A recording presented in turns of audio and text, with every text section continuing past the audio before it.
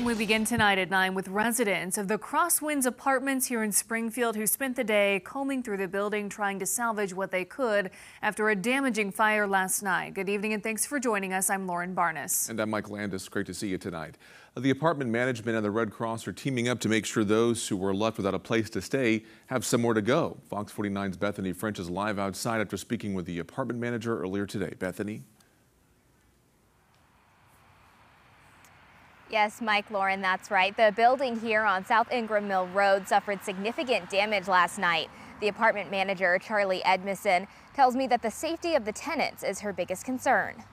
Our primary goal is to take care of the tenants that we have and, you know, ensure that their safety and they have a new, new, new, new place to live that's affordable for them. The Springfield Fire Department said the initial call came in around 6 p.m. yesterday. All tenants and pets made it out safely. The fire department said the building suffered heavy smoke damage, and many were left looking for places to stay last night. We um, ensured that they had accommodations, so they have accommodations, and now we're doing our best to um, provide them with affordable new homes.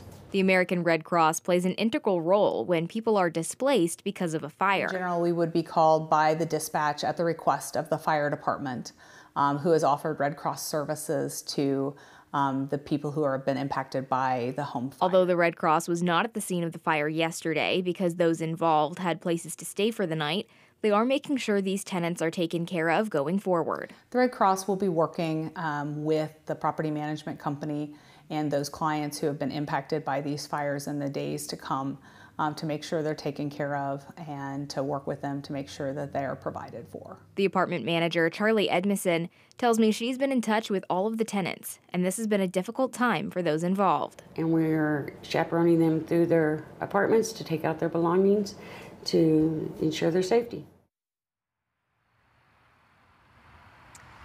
The fire department has not released the cause of the fire at this point, but we will be sure to update you when that information becomes available. Reporting in Springfield, Bethany French, Fox 49 News.